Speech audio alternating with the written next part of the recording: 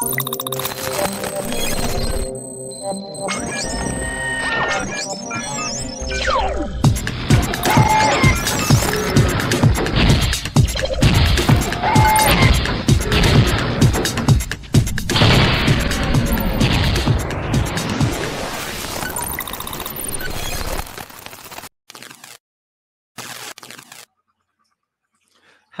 Hello, everyone, and welcome back. We are starting a little bit early today, only about four hours, uh, because we're not doing a reading of our favorite creationist book today. No, sorry, we are instead chatting with someone. We are chatting with someone who goes by Age of Rocks on Twitter.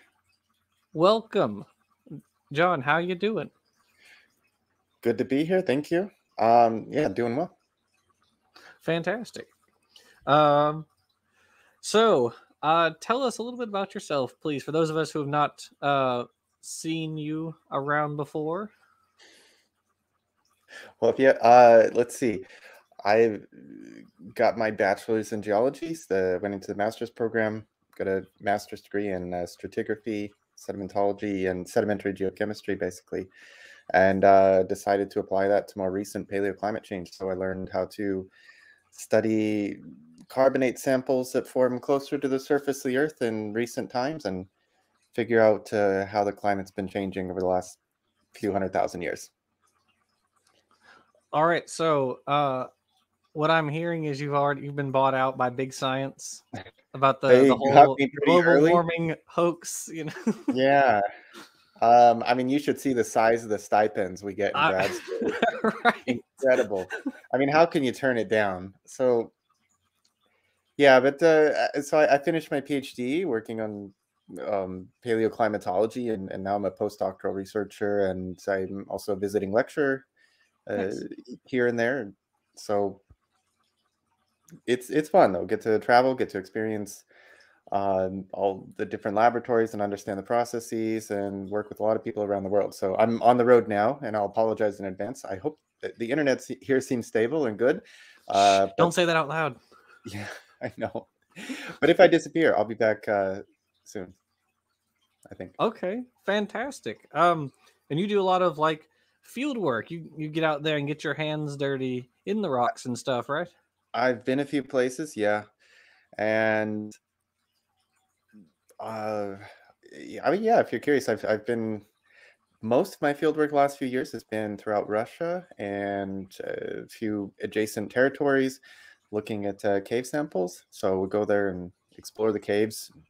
Hmm. Scale. I, I don't work in any of the really deep caves, fortunately. Uh, those can be scary, but, um, but we do study those as well. And so there's a wealth of information out there, and um, been I've been traveling quite a bit now to uh, collect samples, and we've got years of putting all the pieces together and hoping to make sense of it. Fantastic. Um, so last like hundred thousand years, so you're predominantly in the Pleistocene and Holocene with your research. Mm-hmm. So yeah, I think um, the interesting thing about working in more recent geological past, you can see things with at much higher resolution.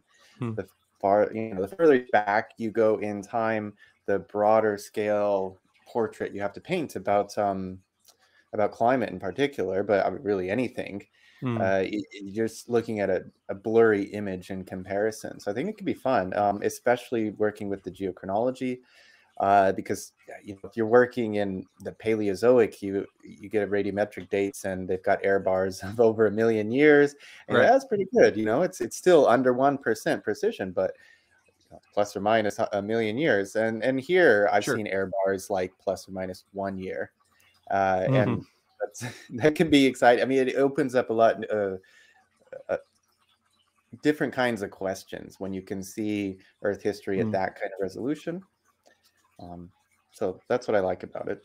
Absolutely, and we will get into some of that uh, sort of stuff um, in a little bit. I just want to mention for a moment. Um, so, uh, actually, in the most recent video that I did, which I published middle of last night, uh, was the Aye-Ayes tale. So, predominantly about the lemurs of Madagascar. Uh, the Aye-Aye is one of the ugliest little creatures I've ever seen. Sorry for any Aye-Aye fans out there, but um, the the animals, all the animals on Madagascar rafted there within the past like 60 million years, but they did it within a time frame when Madagascar was farther south because the the um the currents moved in uh I guess from west to east but then as Madagascar sort of shifted upward, the currents go in the opposite direction. So nothing from Africa could go across. And so I thought it was really neat how you have this the uh, the genetics and the fossils, which point to this one conclusion, which is then also uh, supported by the tectonic plate movement and also the, even the paleoclimatology, and they're all painting the same picture. I thought mm-hmm. that was really interesting. Yeah, I uh, I mean, you can see that closer to home, perhaps too. Just looking at, um, say, the closing of what's now the Panamanian Isthmus, mm-hmm. right? That wasn't yeah. always there.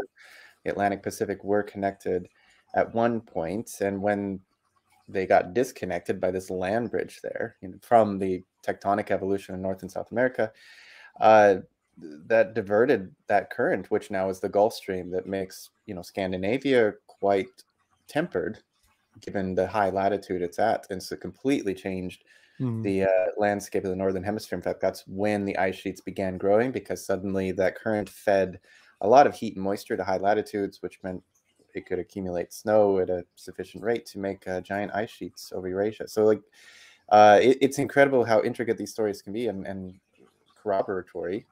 Mm-hmm. Uh, and you find these clues that sometimes you don't even expect it. You go you're looking for a completely different question. You find samples that uh, you know back up a story that was you know, proposed quite some time ago in a completely different place. So um, yeah, yeah, absolutely, and and that's that's something um, that I think a lot of people who are uh, well creationists really who don't seem to understand about evolution and deep time is that when biologists and geologists and physicists whoever propose these scenarios for how these things change, it has to be, it, or it can't be contradictory to anything we already know, right? It has to take all the evidence that we already have and then add on top of that something which isn't also contradictory.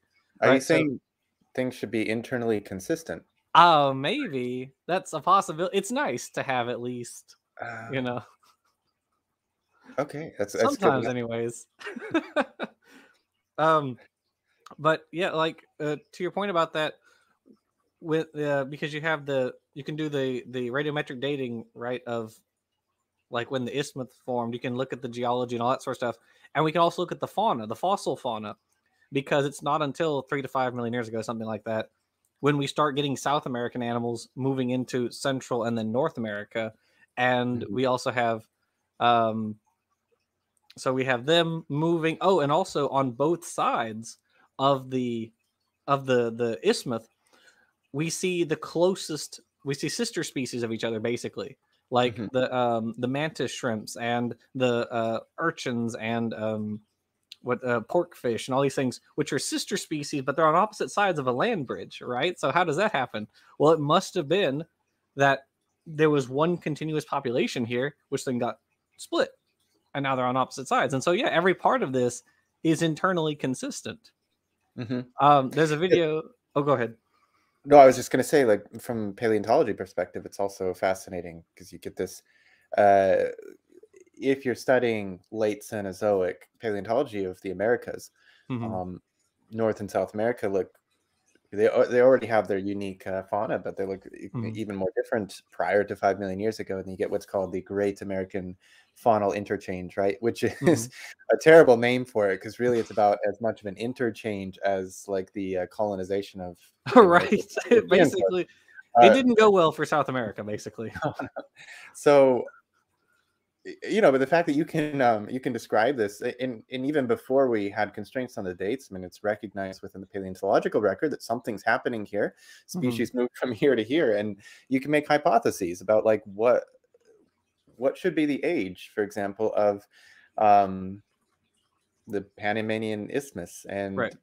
deposits there that made that land bridge, uh, and we, you know we corroborate those quite well with the, the radiometric dating and, and so it's it's always entertaining to watch people try to uh, be dismissive of the various lines of evidence, but including geochronology, which is yes, sound. Um, uh, somewhat, you know, one of the things that you're familiar with is the uh, like the heat problem that creationists like to throw out there, uh, where mm-hmm. you know the they have the continents moving at like rapid speed to mm-hmm. sort of a, a, attempt to account for things that we have you know extremely good evidence. We have extremely good evidence that the continents move and that they formed in particular ways. You know, for especially for the more recent continents, like it gets harder when you go back to like Pannotia and those other really, really distant uh, supercontinents. But especially for the more recent ones, it's like they must have been formed in this way, and even the creationists nowadays acknowledge that. So they have to fit this in, but on a really short time scale. Yeah. And when they try to move one thing, it knocks over something else.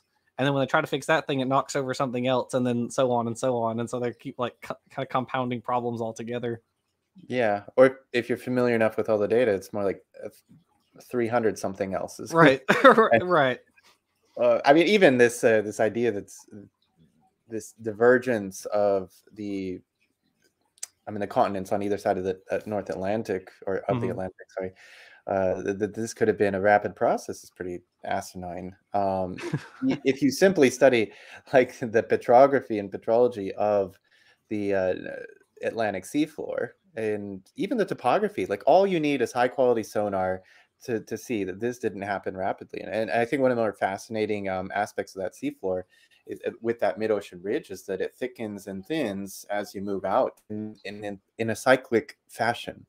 Um, and this is related to the rise and fall of sea level on glacial interglacial cycles hmm. over mm. the quaternary and, and actually even more distant past, right?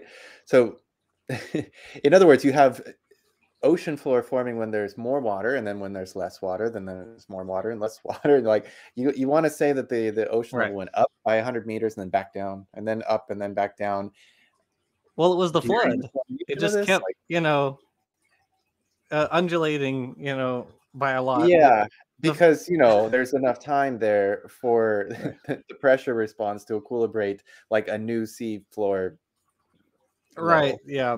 I mean, it's yeah, it's it's totally ridiculous. Um, I tweeted I think just yesterday that, um, in terms of the scientific response to like creationism and intelligent design, these things are on equal footing with flat Earth and anti-vax like intellectually they're all the same plane. There's no there's no difference between them. Uh mm-hmm. it's only pretense on their side that thinks there's any ground at all. Um but at any rate uh so so i brought you here because you are you know you do geochemistry and all that fun stuff. So uh very simple question which i probably uh is an entire lecture in one of your classes but uh do we know that uh, radiometric dating is accurate? Can we be um, relatively sure that it works? You know, within reason, I suppose. Yeah, I mean, uh, the short answer is yes, but I I think it's okay if anybody out there wants to take a skeptical view and say, well, you know, I'm not I'm not sure how this works, or I'm not sure that it works, mm-hmm. and I want to approach it, you know, cautiously, and that that's fine. Let's let's be extra skeptical here and um, also be honest about the fact that uh, radiometric dating is uh, it's first of all a physical model mm. right and, and we can use physical models for example to uh, project the path of a falling object from the sky right it, we it's it can be a, quite a simple physical model like you could do it in middle and high school physics right uh, looking at how things accelerate toward the ground but mm. if you get into the real world you find that uh, earth's a bit more complicated than that. And dropping objects from the sky, you got to deal with things like uh, fluid dynamics and friction from the air drag and, and such that it's actually very difficult to model, right? And, and, you might have instances where your model just doesn't match reality. And that is the case with radiometric dating.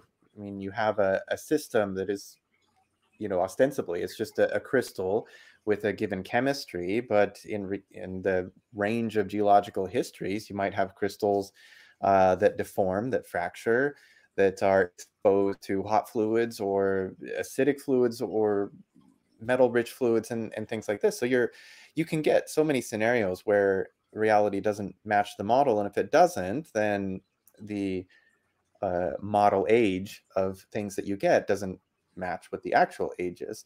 So let's mm-hmm. uh, like at least clarify that um, that's what we're dealing with. It, it's it's like plotting out uh, missile trajectories and having to deal with the complexities of Earth's atmosphere, and it's not so simple. And sometimes you're just going to get the target wrong, right? The path is going to be wrong. But the more you do it, the better you get at it, and the more you uh, find ways to double check your homework and, and make sure that the model actually does match reality. And so that I think that's what's um mm. what what's uh what makes radiometric dating so work so well uh, are the numerous ways by which we can check and double check the assumptions that go into the model uh, when when we use this to try and describe um, a geological history of a given mineral or something like that. Uh, so you know we'll all learn about the various assumptions that go into radiometric dating, like uh, that the decay rate is known and constant through time, that uh, it's isotopically a closed system, and that we know uh, you know the starting amounts of parent or daughter product or ratio between the two, or you know we have some constraints on that mm-hmm. um, before we can begin to model out how this changes over time. Uh, and, and the best way to do that is to work with various isotopic systems. So if you have two different isotopes decaying at different rates, right? So each can be used as a clock and, and you use those to check because they should give you the same time, right? And if they're not, then that tells you something's up with the system uh, where this this model doesn't match reality. And um, you know you can check the uh, if you want to check the assumption that this remained a closed system, you can look at the, uh, the geochemistry and analyze, like on the micro or nanometer scale, uh, subtle changes in the concentration of trace elements that would tell you was this mineral altered by fluids in the past? I mean, if you go back to the 50s, 60s, 70s when we're developing and trying to date the whole geologic column, that you know, developing the methods and and get all these boundaries dated so we know how old the you know how, how old is the permian for example uh, uh, back then i mean you, you're working with much larger samples very coarse resolution and higher error bars uh, because you don't have you know the high-tech vacuums and lasers and amplifiers and uh, high sensitivity detectors that we do have now um, and you know, I, I think um, anybody who's not working in the field might not appreciate just how advanced some of the technology is compared to even 20 years ago, mm. let alone 50 years ago, to the point where you don't just date uh, a rock, you know, even date a mineral. You could take a mineral that is less than a millimeter wide and get ages all the way across the mineral from the center to the edge. And things like this can help you um, feel more confident that geochemically the system worked the way the model describes. And when you get to that point, you, you can be extremely confident in um, in most ages because mm. we can check and double check and corroborates and and so forth, so that we know the age we have really does, um, you know, has some sort of time significant or time element to it that explains the chemistry we have now. Um, another good example of that is um, let's if we're looking at systems where we know that things get younger with time. For example, in a sedimentary succession, you can't have layers forming on top of each other. I mean, the, the bottom layer has to be there before the 2nd mm-hmm. layer forms, and then the third layer, and so and then this goes 500 years back. We've known this. Um, so when you're dating things back through time, and I've, I've got a few papers on hand where they're dating ash layers throughout the Jurassic sequence uh, a marine sequence. You know, you've got like ammonites here and, and such, but then you got a thin layer of bentonite clay and a radiometric age of the volcanic material there. And then a few layers down, another age. And so when you see those increasing systematically in such a way that gives you an estimated depositional rate, like it, it, you can estimate that those sediments were um, accumulating at so many centimeters per thousand years. And that is about the same as the observed rate of sedimentation in those environments today, like mm. it's really hard to dismiss that and say, no, that doesn't work. There are assumptions that go into this. Like the, the very fact that ages get older when physically the only possible reality is that they do get older in time. Like you, you got to admit that there's the time is at least one variable that's explaining those differences in ages. And, and the samples I work with mainly come from caves, and, and we look at stalagmites, and you know that they grow from the bottom up. So the age should get older as you go from the top down to the bottom.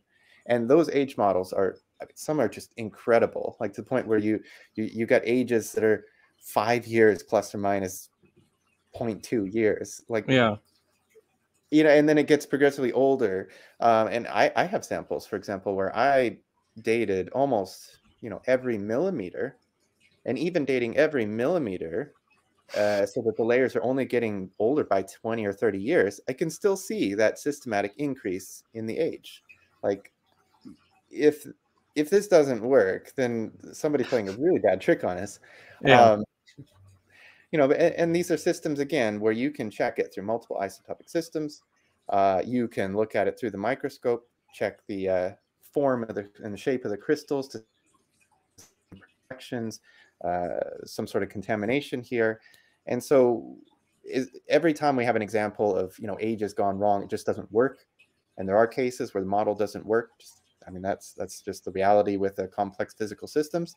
Uh, there are a thousand examples where it works really well. So I, am sorry, that's a long-winded answer, um, but like no, said, that's great. It, a lecture in itself, uh, and right, I'm sure it is for some of your classes. That's what I was uh, saying at the beginning. I was like, you know, I'm almost sorry for for you know batting you this question because I'm sure you have a whole lecture that's just the answer, or maybe multiple lectures. It's just the answer to that question. Mm-hmm. You know, like um, I've I've been in stuff where they're like, you know, oh, can you explain evolution? Where it's like, yeah, yeah, you know. Um, you you mentioned so because you've been on on Aron Ra's show a couple of times, and one of the things that was really fascinating to me that you mentioned um, was dating historical things, and you mentioned it just now, where you're like with your error bars like plus or minus a year, something like that. Uh, can you explain that like a little bit? How we can use radiometric dating to date like historical uh, events? Uh, sure. Uh, and, and I would say this wasn't something within our grasp last century for the most until the very end of the last century, uh, with the exception of like the radiocarbon system. And, and I think most people would be broadly familiar with how the radiocarbon system works and how mm. we date things using that. Uh, and of course, that uh, is most accurate in you know stuff that's like less than twenty thousand years old, right? Um, and so that's geologically very recent. But but dating things that are only twenty thousand years old with the conventional systems is not something we could do with the technology um, until quite recently. Um, but you know, going into the late '90s, uh, they began to try this more and, and see like, well, can we do it reliably? Uh, can we replicate these studies? And and so they did. They started. They uh, actually as early as the 1960s started dating historical volcanic deposits, mm-hmm. meaning like they, we know when this volcano erupted. It was recorded in history within the last 100, 200 years. Um, and they did get ages that were within uncertainty of 100 years old. Um, but the error bars are plus minus thousands of years. So uh, I mean, it's it's a good sign. Tells you it's working, mm-hmm. but um, it's not super precise. But toward the end of the 1990s, um, we have ages for the Mount Vesuvius eruption that uh, have error bars, you know, that are less than plus or minus 100 years, uh, and right on top of the known historical age of that eruption. And you could say, hey, maybe that was a fluke, except that you know, sure, they it wasn't just a single uh, test, right? Mm-hmm. But a mm-hmm. lot of work went into getting that age. But it was replicated not just with that method, but which was the argon argon method, but also with the uranium thorium helium uh, method using different minerals system. You know, so we've got multiple isotopic clocks, uh, mm-hmm. geochronometers, and giving the same age using different minerals within the same volcanic flow, and these happen to be all the same age, uh, the known age of that eruption, which is about 1900 years. Uh, so that's um, a good way not only to tell you that like it works, but that we've reached this um, point where we have ultra high sensitivity and good precision, even in things that are quite young. That's useful because um, we have a lot of volcanic flows that are less than 100,000 years old, or at least less than 2 million years old, that help us understand um, things like human evolution and pinning down migration of human groups across the world. Hmm. Uh, also helps us understand uh, things like ocean cores, or it would get better dates for the ocean cores because we can drill those, you know, very deep uh, back through the sediments that cover several millions of years, or even tens of millions of years in some of those. Uh, so the better you can date those ash layers, the you know better it is. Um, but there are other methods uh, like the ones that I work with and, and comparable ones such as uh, uranium thorium and I think um, a thorium protactinium method. Uh, it, it, kind of work the same way. In, and to put it really simply, uh, usually when we explain radiometric dating, you might think like a bucket full of water and you poke a hole in it and it starts draining into an empty bucket. So you've got okay. a parent element that decays into a daughter element, and the lower the bucket gets, the slower it drains out, and then this one begins to fill up quickly at first and then more hmm. slowly, mm. right? Okay. So you got exponential decay, exponential accumulation, and the ratio between these buckets can tell you at any given time like how long they've been draining out if you know the decay rate, right? Right. Um, and these other systems work much the same way if as long as you can imagine that you poke a hole in the bottom bucket as well uh, because you have a you know radioactive uranium decaying into thorium which is also radioactive and that decays into radium and so forth okay. uh, so it's mathematically it's a lot more complex but yeah. that's actually good because it gives you multiple ways to check the system and identify when again the model doesn't match reality uh, but it also allows you to date things that are quite young, um, less than the, the, maximum window for using this method is about 700,000 years. Anything older than that, we don't Anything as young as zero years old, you can date with it quite precisely. Um, to the point where we can use this dating method to improve on the ice core chronologies. And keep in mind, the ice core chronologies are built by counting the number of layers of ice back through time. Um, wow. And those, those of course have intrinsic uh, uncertainties, right? You might have layers that are missing or duplicated or just mm-hmm. not recognizable boundaries or something. So it's it's not like every single layer is perfect, you know, all 30,000 sure. or more that you can see. Uh, but we can use that to double check. And, and, that's another way that we know that both of these systems are working well because uh, they they can give you the same age for the same event, very clear perturbations to the system, like what's the what's called the Younger Dryas event from uh, 12,000 years ago, this big cooling episode at the end of uh, the last glacial period. Hmm.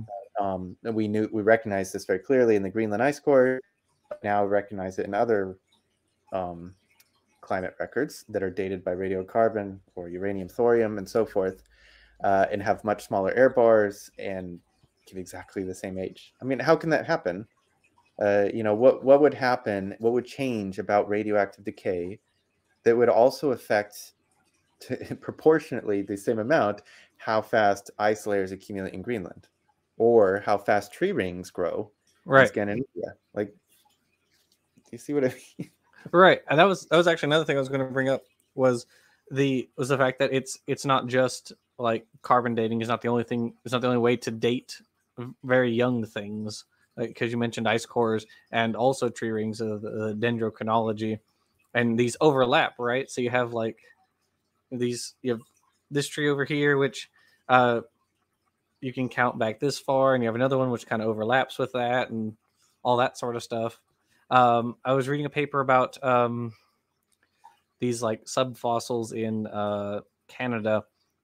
I believe it was they were looking at diet there's like freshwater diatoms and how there was a bloom in them. So you get all these uh, their their cysts or whatever when the Canadians got or the Europeans got there and were doing agriculture, and so this there's this runoff from their fields which was causing a big bloom in these diatoms, and so that was another way you could like independently date when these things were there or you know when these people were here because they were causing this effect which mm. you know you can carbon date and all that sort of stuff so, um, are there any factors that you're aware of that like uh, affect the decay of isotopes? Are there any that we're like aware of? Uh, that can affect like the stability of the nucleus and how quickly it'll decay. Right. So like it, like you were talking earlier about making the like assumption of of you know this steady decay rate. So is that uh you know there are circumstances in which um that assumption has to be um like reevaluated. Uh, no, not in not when you're looking at geological systems. Okay. You know, especially near surface systems, but even you know mantle systems. Uh, there's nothing in the environment that affects that. Mm. Uh, under very extreme circumstances, like in plasma phase, uh, and and we don't have plasma phase on Earth, so it's not relevant again right. to geology. But uh, sure, sure, in um, some cases, in plasma phase, ultra high temperatures, uh, certain decay modes can slightly change, but not not to the point where it would actually undermine uh, the geochronology right that, that we have. So in systems they're not analogous to Earth because they can't exist in our system. Sure. Um, I mean, the only other factor could be like uh, changes in the uh, fundamental forces, like that the, the mm. weak and strong nuclear forces that would bind the nucleus together. I mean, sure, right. yeah, if you if you could hypothetically change those uh, forces, then yeah, that would affect the stability of nuclei and the rate at which they decay. But simultaneously, that should also make sta- uh, nuclear uh, nuclei that are now stable become unstable, mm. right? And we don't see any evidence of that through history. I mean, that, like if there were a reason to believe that suddenly, you know, stable carbon atoms were decaying wildly and going through nuclear fission or, or something like mm-hmm. that, then mm-hmm. sure, uh, we, we might want to reevaluate uh, whether or not this decay has been stable. But that would be um, because the fundamental forces of nature have decayed or changed. Right. Uh, not only is there no reason to think that there's no positive evidence for it, there's you know million lines of evidence against it.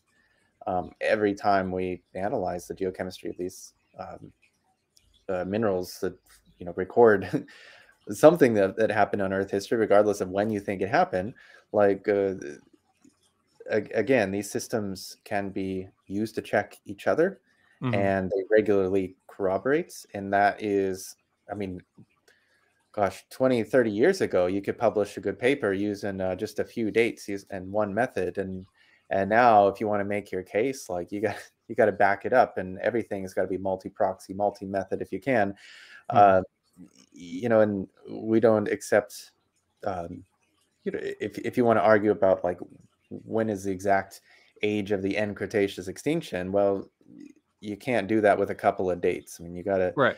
corroborate that a thousand times, and then we can talk. You know, like so. So at that point, this is just a, a, million data points that would contradict the idea that there's been any change, um, any measurable change in decay rate.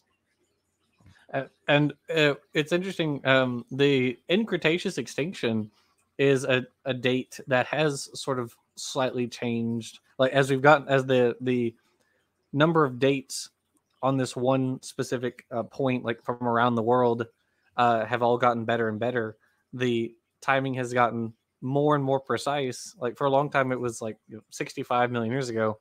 Now it's like 66 point something something something million years ago mm-hmm. which is is just amazing yeah and, that, and that's okay uh and there are a few reasons for that. And one could be uh, where are you measuring that boundary? Um, right. kind of material you're are you mm. measuring? What uncertainty do we have on those ages? The other thing is just knowing the decay rate. Uh, and uh, I think often we don't appreciate just how how difficult it might be to measure the rate of decay in some of the, especially the really slowly decaying elements like 40 potassium, right? Mm-hmm. Or uh, the 238 uranium and so forth. Um, but knowing those precisely, I mean, that's an, an ongoing process. We're, you know, right. coming up ways to measure that more precisely. And so sometimes that decay rate that you look up in the textbook that you use in your formula to calculate the age of the mineral, that will change over time. But, you know, in the same way that, say, the estimated distance to the moon would change over time. Mm-hmm. Right? Today we can measure right. it a lot more precisely than in right. Newton's day. but doesn't mean I mean his his estimate was pretty darn good, right? Sure. Uh, you know, but just because that number gets more precise doesn't mean that uh, things change fundamentally about how we understand, uh, say, the structure of the solar system, and that yeah. the same with uh, geochronology. Like the, the refining of those ages often it results from those two factors: getting more data, and from better sites, from better minerals, using better techniques with better instrumentation, and also having better decay rates. So you plug in the right factor in your formula because just changing that by a few decimal points will change the age slightly, you know, mm-hmm. by a fraction of a percent. But you know, at 65 million years, that's that's a little bit, yeah. Mm-hmm. Um, yeah. The uh, there was a there was a big argument for a long time in like geochronology circles about where the Cambrian should start because mm-hmm. thinking was you know was it 600 million years ago was it 700 million years ago and then as you get closer as you get more and more recent then and the uh, radiometric methods uh, become better and better, and we find like index fossils, and now we've settled on like 541 million years ago as our mm-hmm. as our particular point, just because the the way, as you're saying, the way to measure has just gotten better, just increasingly better over time. Yeah, and it's also keep in mind it's not like a football field and somebody's asking you measure the distance to the goal line um, you don't know where the goal line is. Like you're also mm-hmm. as a community defining where to put that goal line, and right. it, your measurements may or may not fall exactly on that line.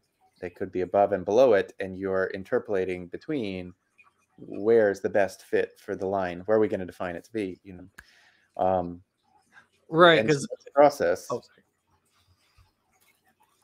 Oh, sorry. I, I was going to say um, you may have heard about the uh, the the the start age for the cryogenian period got moved uh recently not because the actual not because they changed any dates but they changed the start of it to coincide with the uh, the actual glaciation event for which the cryogenian is named which i think makes a lot more sense so now it's uh 720 to 635 million years ago which mm-hmm. makes a lot more sense to where it was previously because it was like the beginning kind of preceded the glaciation events for which the cryo Ginny in his name. So it's like that didn't really make any sense to kind of move that back, which I, I appreciate. Um. Oh, okay. So, um, another one you've probably heard. I think I actually discussed this one. Was uh, what about? I'm sure you've heard about like creationists like Snelling and others who get these like ridiculous anomalous dates for um for like rocks and things. What do you what's typically your response to mm. people who bring that up to you? They're like, oh, they dated, uh, was it Mount, Mount St. Helens, wasn't it? The yeah. eruption. They're like, aha, we got a date that was, you know, 10,000 years ago or whatever, which is ridiculous. Mm-hmm. Yeah. Uh, uh, yeah, I've looked at all those uh, mm-hmm. in detail. And if, and if anybody comes across that and not sure what to make of it, first thing is um, you got to look very carefully at the geochemical data and do it yourself. And if you can't do it yourself, that's fine because uh, it's probably not something that you train to do. But if you can't, then find somebody who can and does that routinely mm. uh, to double check it. And the answer is always different because I've seen them uh, do this for, I don't know, Neoproterozoic ages in the Grand Canyon and also stuff that's really young, like Mount St. Helens. Mm-hmm. And mm. the reason for those discrepancies is always um, different. But there have been times too when I've taken his data and, and he'll like write this paper in an answers research journal or something and, mm-hmm. and, say how like oh we this state and look there's uh, no relevant age data here and they're all over the place and they're older than they should be and i i took it like but you you basically reported uh you know what would be an isochron age, and you didn't actually ever plot it as such. You didn't make the classic isochron plot, which is how you would get the age from this. And uh, then I would plot it myself and find that they fell on a line and gave an isochron age that was basically zero. And he spent an entire paper talking about how they got these dates and they're all older than zero. And so obviously this doesn't work. They're anomalous. And like, but your data show that the age is zero if only you would have plotted the way that any geochemist who measured those uh, those isotopes would plot it. So why didn't he do that? You know, and uh, besides that, then they'll they'll report ages from uh, Mount St. Helens flow, but without you know by missing the context. Uh, for example, regarding the uh, detailed petrography of the minerals to to look at the texture, they not like they used a machine that could measure core to rim variability, meaning like from the center of the mineral where it's least likely to be altered versus the outer rim of the mineral where it's most likely to be mm. altered if okay. it was. I mean, you, you want to look from core to rim to see if there are vari- variations and what could be causing right. that, because that would um, that would upset the model assumptions. It would um, violate the model assumptions. But they didn't report anything like that that we would use to check the uh, veracity of ages. Um, you know, but if you look there's always something that sticks out that's obvious. It wouldn't be obvious to anybody who didn't take like a, a radiogenic isotope class or, or, or work with these kind of data regularly. Right. Uh, but that's the, that's the advantage they have. They can like work on the presumption that you're not going to check their homework, and anybody who will check their homework doesn't matter because we're not trying to convince them of anything. I mean, they're, right. not, they're not writing those papers to persuade me that there's something fishy about the dating methods or the samples. Like it's it's pretty obvious to me that there's there's nothing going on here, uh, or nothing out of the ordinary. He just didn't finish the story. Yeah. But he's not writing that paper for me. He's writing it for people who've never studied geology before. Sure. Uh, and mm-hmm. that's yeah, that's that's um the that's a major problem with modern like creationism and intelligent design is there's been a, a selective pressure from you know sort of the general public for them to make their work look more sciency right for it to go from just being blog posts because anybody can make a blog post that's you know who mm-hmm. cares but aha it's in a journal now well yes the Answers Research Journal okay well you know, aha, we got it put in the Journal of Theoretical Biology now. Aha, now we've got you. We got a real scientific paper here. Mm-hmm. You know, it's. Go ahead. I like how you describe it as selective pressure, though. That's as as though the um, the pseudoscience movement is itself is evolving here. I think it is. Well, uh, you know, I say that, and yet this book is from 1967 and has the exact same arguments that you see today mm-hmm. um, word for word. So there's a, a, selective pressure for presentation, not necessarily for argumentation, I guess I should say. No, but I, I agree. Um, and the goal for them is to give the illusion of, uh, how would I say it? Authority, it, I guess. Yeah, but you want to give it a, a facade so that when people mm. look at it, uh, it looks you know, like a fancy research institute, and you imagine that on the inside it works like one too, uh, even mm-hmm. though it doesn't. Um,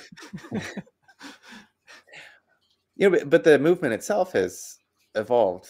Uh, yes, most definitely since. Well, let's go back to the '60s when you have real tangible start to the creation science movement, which kind of grew out of a, a sub demographic of the ASA, so you had this, uh, if you don't know, American Scientific Affiliation, which was a group of predominantly Christian scientists who are scientists and engineers and other professionals who had a group like, you know, let's let's uh, uh, use our faith productively uh, in our professions and and to build society. And that that was fine, but like within that group, uh, there were just a few people who would try to convince the rest of the group that like we should make this become like the creation science movement and let's reinterpret all of geology and biology to support the biblical timeline. And they, they looked at like what do you mean the biblical timeline? That's that, there's that's not what it is. Like that's not just that's not how we should be reading the book and, mm. and uh, applying this. Like that it's it's not a guidebook for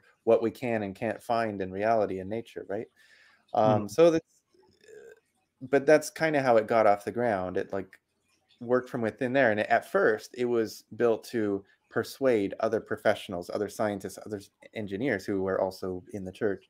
And they mm. moved from there to uh, they kind of gave up, I think, uh, stopped trying to persuade them and went to the general public and said, like, yes. look, if you don't follow us and believe that uh, yes, all the evidence is in our favor, then you're just you're not in a real church. You're in a compromised church. You're in something else. And, they, and they created mm-hmm. this identity movement where they broke away from what they could now call the mainstream. And anytime you say that's mainstream, of course, it's got this you know negative connotation to it. You don't want to be mm-hmm. a part of the mainstream, right? You're not a sheep. so cool uh, yeah, it, but it worked.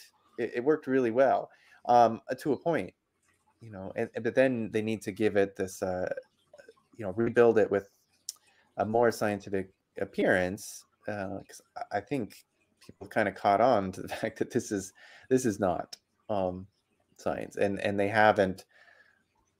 I mean, they've had decades to find something that uh, would actually corroborate their story, and yeah.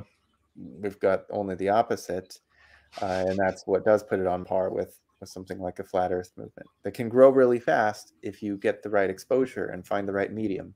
Yeah, but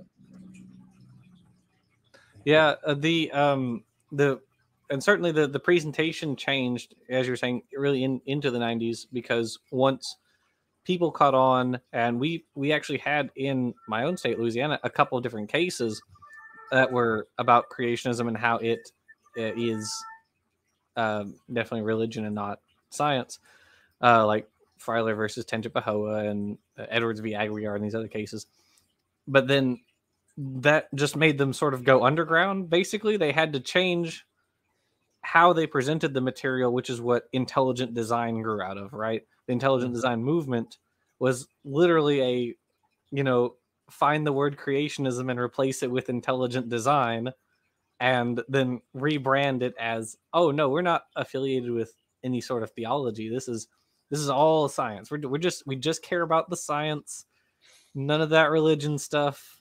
Mm-hmm. Which it doesn't help that you know the major ID organization, the Discovery Institute, also puts out articles on politics and religion. But you know, regardless about that stuff, um, but but yeah, it, it's they tried certainly. They tried at first to pretend like it was just science, and now they've kind of gone back to it's the culture war.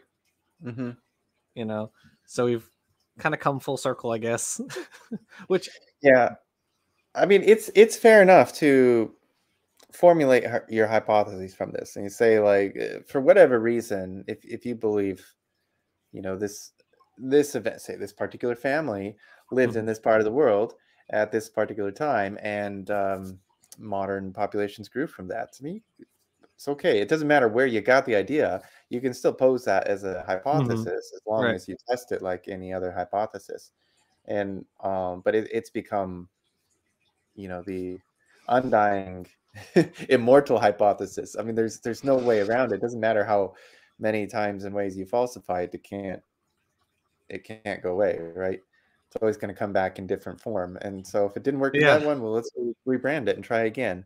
But um, you know, it's it's unfortunate because, like, uh, from my perspective, it's very easy to see uh, how unscientific the approach is, and and I've kind of given up as on um, treating it as such. And and my idea was to like, well, let's let's just take all their claims and treat them as hypotheses and and forget the the religious mm-hmm. overtones or anything else because mm. you know that very easily divides people in trying to discuss this. Uh, but let's just set that aside for a second. And and you claim X happened at, in the past at Y years ago, then let's let's find the tools to test it and do it. And right. um, it I think it turns out it's a, it's a fun way to teach geology, just as um, I don't know, exploring flat Earth claims could be a fun way to teach physics. right. it, it, but really, you learn a lot about geology by just taking um, sure random article from AIG and, and go through uh, what they're trying to tell, and then just uh, let's go pull the actual data out there because chances are they'll present you know a problem in geology. We're not really sure what happened here. We're not really sure what caused the end of the Cretaceous uh, fauna. Mm-hmm. Uh, let's, you know, in, in, reality, there are plenty of data to test this idea, and they just ignored it all by not yeah. citing it. And so, you know, just go through and, and cite it and but it you know it's a good exercise.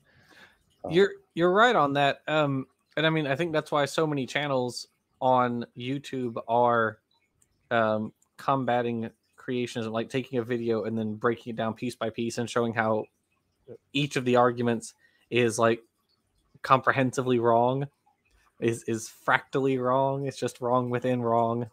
Mm-hmm. Um, and and yeah, you you really do learn a lot of stuff.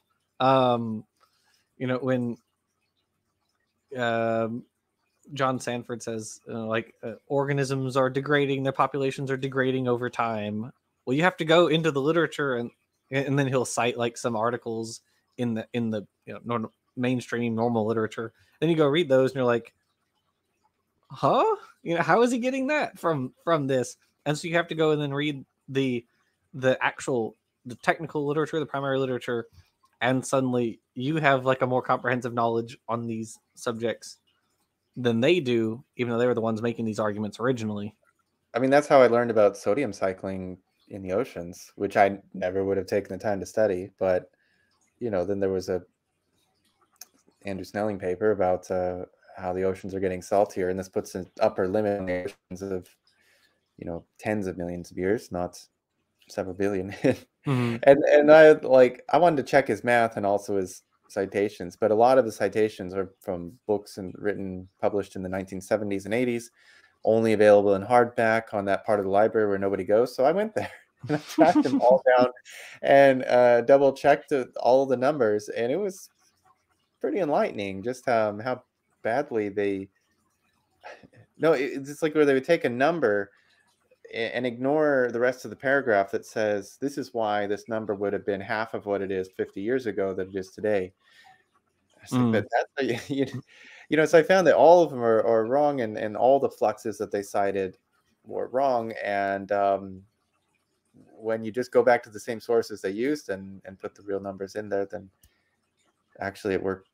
There is no upper limit to the age of the oceans based on sodium cycling or any other element for that matter. Um, yeah, but it, it's fun, you know, tracking down the sources and yeah, absolutely. You always learn fun stuff. It's really fun when you find a claim where the data they're citing just doesn't exist. Um, so I don't know if you've read uh, "The Rocks Were There" by R.J. Downard and myself, but one of the uh, one of the things that we found was we were tracking down a claim by this guy named Ariel Roth, and so Roth was claiming that a coral reef, um, this coral reef could have formed within the last like two thousand years, because the the growth rate of the coral was such and such, and he gave this like ridiculously high number for coral growth. Compare and like we we compared it first with because I think we had a hard time finding the paper at first because it was from like the 1920s or something like that. But we eventually mm-hmm. did find it, but we compared that with other known growth rates for coral. And we're like, okay, this doesn't match up at all with like anything we can find. But we did manage to find the paper, and the number he cited just didn't exist at all. just wasn't in the paper. And that's fun. Wow. I think I could get a lot more published if I took that approach. I mean, yeah. Probably, but you have to publish in the Journal of like Theoretical Biology. I don't, you know. The Journal of um, we we found three random reviewers who are too drunk to really take a care of paper. Um, not, I mean, why didn't they just cut the coral open and determine the growth rate that way? Um, or, I think I I can't remember what um I can't remember how they were um, determining it or whatever, but it was just it was like the number he he had chosen just wasn't in the paper at all, which is what we thought was so funny because I found it and then I said, "RJ, will you look this over and make sure I didn't just miss it?" And he looked it over, was like, "No, it's just not in there. This number does not exist." You know, and which which is amazing. That's the best kind of thing when you find stuff like that, like you're not just wrong, you're fractally wrong. You just made it up. Source, just trust me, bro. you know, and another common error I've seen and related to dating things is mm. a common motif um, in their approaches is to take a phenomenon like the growth of coral reefs or mm. the growth of um, caves or sedimentation in the ocean and uh, the idea that you can just find a growth rate, a depositional rate anywhere, mm-hmm. and say like if it's big enough that it could explain this much growth in less than four thousand years, then we're golden. That means we've explained it. Like, but that's not the question here. It's not a question of like how fast things could happen theoretically under certain circumstances, right? But how fast did they happen for this particular sample? Mm-hmm. Um, in, and I'm astonished to see like just how many presentations, and including by people with masters and PhDs, mm-hmm. uh, being interviewed on certain channels, coming on and saying like, uh, like here's how we know all this could have formed within such and such time. I found a citation that says like that these minerals grow within caves, uh, or actually not within a cave, under a bridge, this fast every year, and and uh, therefore we can explain the growth of all these other cave formations in right. a few thousand years. It's like, but the rate isn't the same for every sample, not even every cave. Yeah. Not even within the same sample. That rate can vary by an order of magnitude within the same sample in the same cave in the same room. And right. for coral reefs, it's it's a similar situation. They don't grow at a constant rate. We never thought that they did. Yep. Uh, and there are multiple ways that you can constrain this by looking at uh, how fast they grow um, by making analogs or in laboratory conditions or by uh, you know analyzing annual banding seasonal banding or other observations um, mm. you know we even have like time lapse photography of these minerals growing so we know how fast uh, they grow and they're all different you know but um it, yeah it's the idea that you can just uh, document some sort of rate anywhere in nature and apply it to all the rest of it. Mm. Say, well, that's it. You know, we found a case where a tsunami laid down a meter of mud within X number of seconds. Therefore, one meter times this many seconds. Oh, yeah, that's shorter than one year. So sure, we can explain five thousand meters of mud deposition uh, less than a year. It's like, come on, you gotta like that's not even close to resembling scientific method. Um, yeah. But I think there's genuinely clueless on that fact, that point that it's not how you would approach it. It's not how you test a hypothesis. Mm-hmm. Uh, it's maybe how you could generate a hypothesis to test. Mm-hmm. Like, look, we found a place where coral reefs can grow this fast, so we're going to hypothesize that it that was the case for this reef. Okay, well, go test it. Like, fine. I don't think I've ever seen anyone try to carry that out. Um, yeah. And, and I, I keep mentioning caves because that's what I work with all the mm-hmm. time, right? But I've seen so many presentations from people coming on like, look, we built this cave maker in my backyard and, and we grew a stalactite within a, a month. Okay. So yeah. How fast do you think they grow in caves? Like, it's completely different chemistry, different atmosphere, different environment. Like everything is different. Um, there's no single rate at which any of these happen. So test your hypothesis, come up with a method to test the age of that.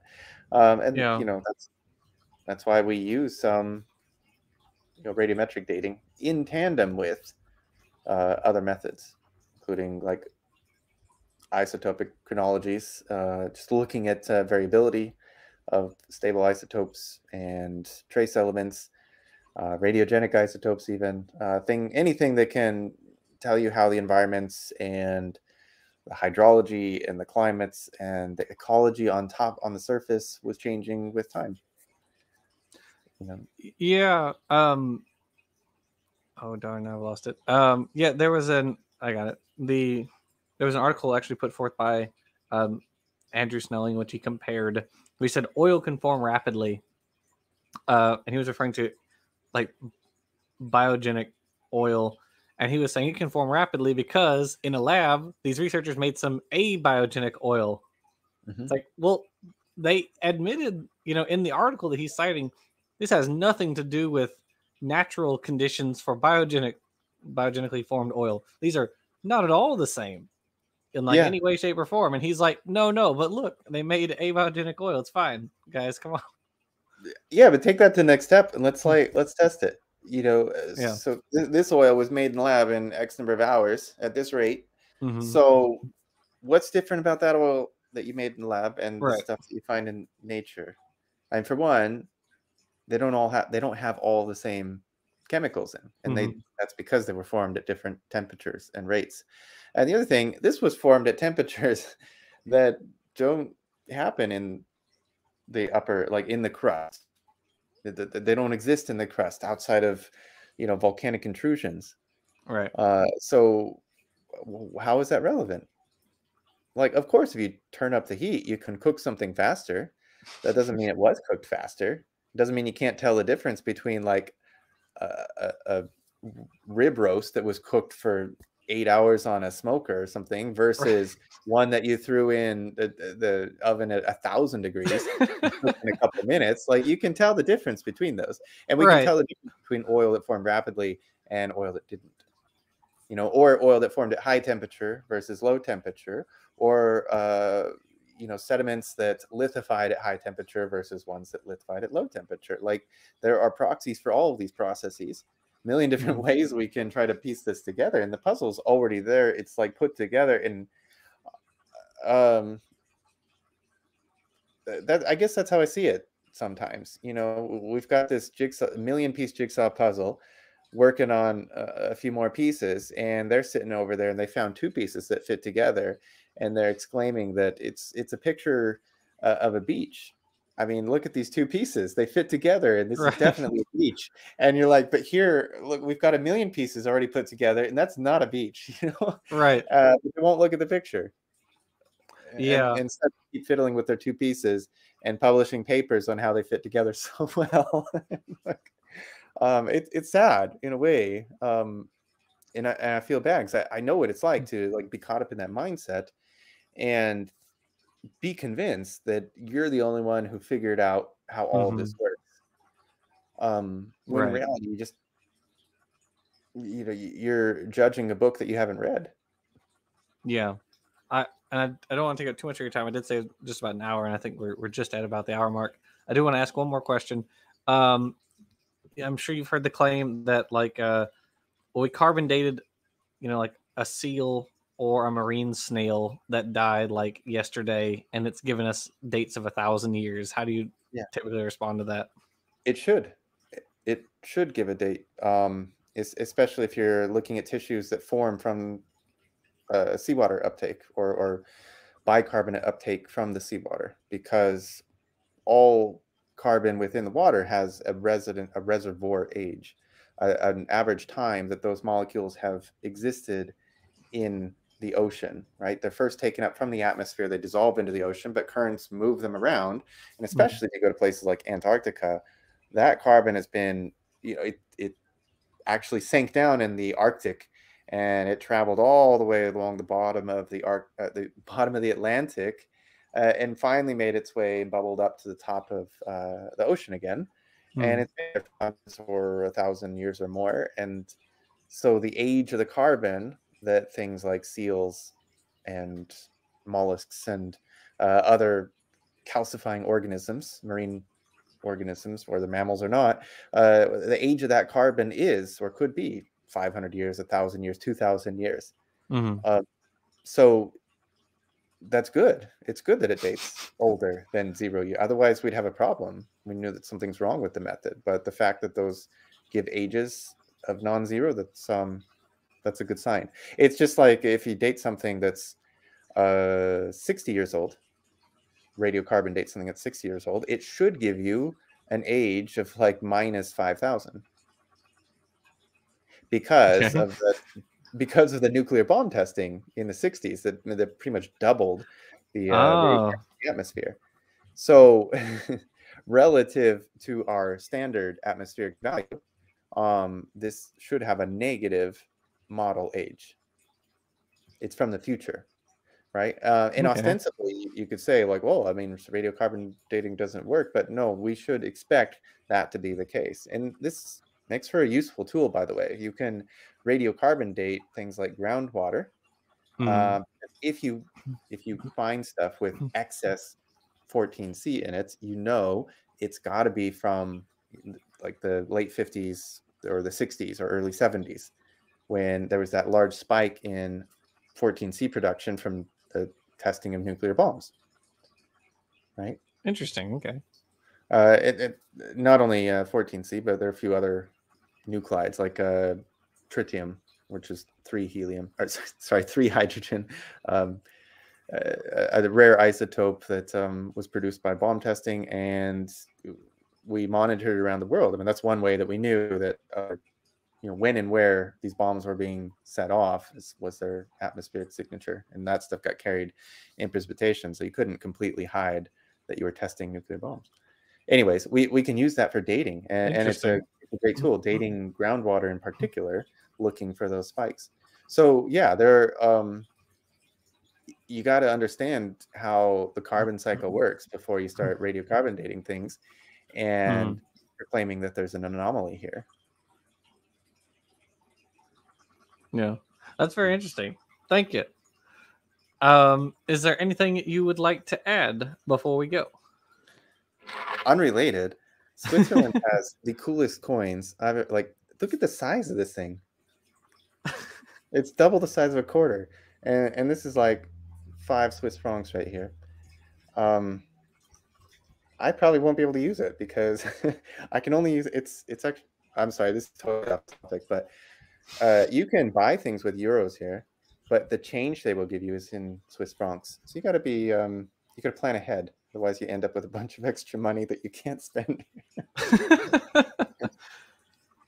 yeah, uh, yeah, that's that's true.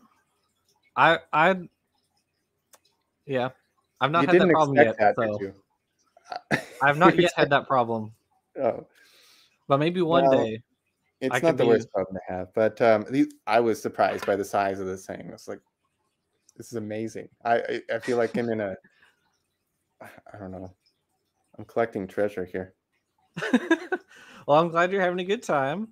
Yeah. Um, you got a lot of other fun places you're going to be headed this year. well, um, going back to this really exotic country, uh, the United States. Oh no, that's um, that's rough, man. Yeah, it's gonna be a bit of culture shock, but I think I'll get through it. Oof, we don't have time to get. We don't have time to unpack all of that today. Uh, we'll be here for another right. hour. Um, but uh, I really appreciate uh, you having me on. If you got any more questions, I'm happy to try and answer them, or we can look at more detail um, at, at some of those exam. I mean, if you got a claim, uh, hey, we dated this thing and it came out wrong, then let's take a look at why. Uh, uh I think actually we, we learned a lot more um, from those so-called anomalous results, and in particular mm-hmm. with radiocarbon dating. Uh, most radiocarbon dating that we do is not to learn how old something is. Yeah. Rather, it's to understand the carbon cycle at that time. We use another method to find out how old it is you know, by like counting tree rings or using uh, uranium and thorium. And then we radiocarbon date it and look at how wrong that age is to learn something about the carbon cycle at that time, right? Uh, Interesting. Okay. For example, uh, if you want to know how much of the carbon came from uh, a dead carbon source like bedrock and how much of it came from the atmosphere how much of it came from soil or microbes or things like that then uh, we can use radiocarbon dating to you know look at surface systems ecology. It's a you know endless yeah. string of questions. Uh, and, and so you know geochronology we got pretty creative with it i think in the last number of decades gotten creative. we we got good at figuring out how old stuff is, but when, you can't just be satisfied with that, right? Well, yeah, and I mean that that also um, informs. Um, well, knowing how old some you know stuff is informs biology, right? Like with um, molecular clocks.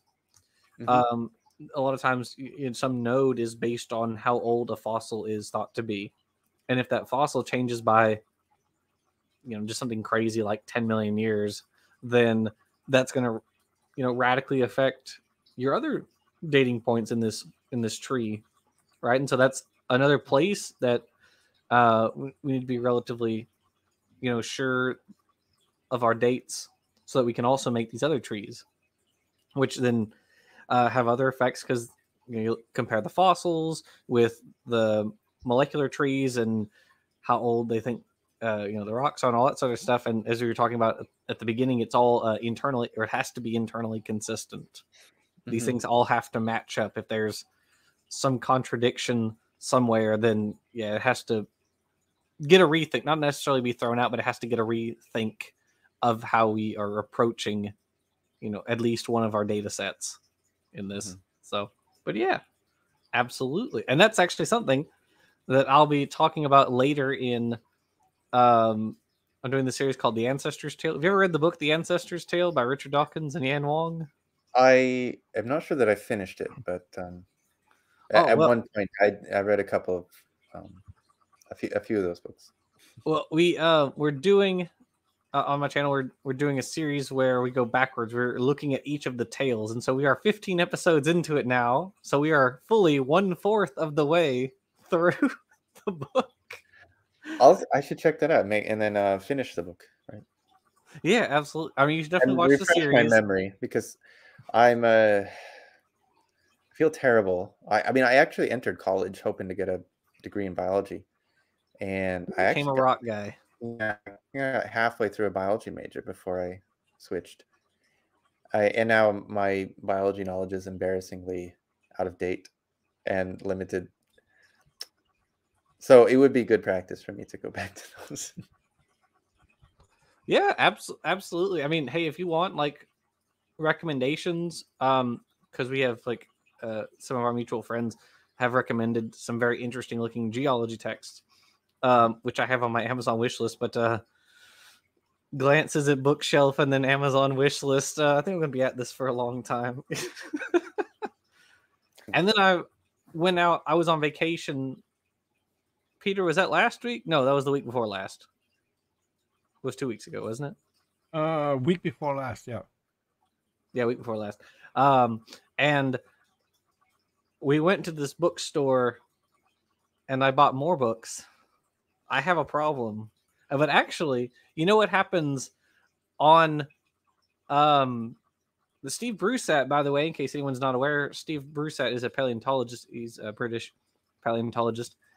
He mostly does dinosaur stuff. He has a he wrote a book, The Rise and Fall of the Dinosaurs, a, a few years ago. He actually just published the s- sequel, I guess, uh, which is um, The Rise and Reign of the Mammals, which just came out, I think, like a month or so ago.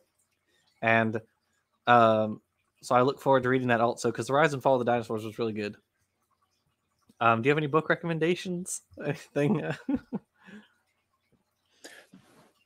do I? Um, no, but I, I'm sorry, I've got none. That's okay. Um, so well, I want to thank you again for uh for coming on. I think it's it's kind of late where you are now, huh? Uh, it's about midnight. Yeah. Okay. Not as not as bad as Peter. uh, usually, because we're usually doing our our Thursday show where it's like the middle of the night for him. Um, we're, we're in the same time zone. So we're in. Oh, you guys are in the same time zone. Okay. If if John's in Switzerland, yeah, he's in the same time zone as the yeah. Netherlands. Uh, oh. Yeah, I've been on Central European. I think. Well, Okay, well, yeah, that's right. Uh, because um, we yeah we moved this this show up so that wouldn't be uber late for you, but uh, Peter does usually do this in the middle of the night because he is. Uh, we appreciate you, Peter. All comes, of us comes with the territory. This... I mean, I, I produce for you. I yeah. produce for Aron Ra. Uh, people who are not not living next door to me. So yeah, it, it just happens. We sh- we we should need, since we have someone here who's who knows a lot about rocks. We should we should need to find a way to push America back towards Europe to to make that change a little smaller. I mean, right? We all get on the west coast and we start pushing, yeah. pushing it back know, to Africa and the Neuhoven. Maybe we just dump all of our trash in the middle of the Atlantic, it'll reverse that spread into a convergence and it'll pull us back together. That's it's that's oh hey, we're we're coming up with solutions here. There you go. Yes. um, I'm not sure if the the critters will like it, but oh well.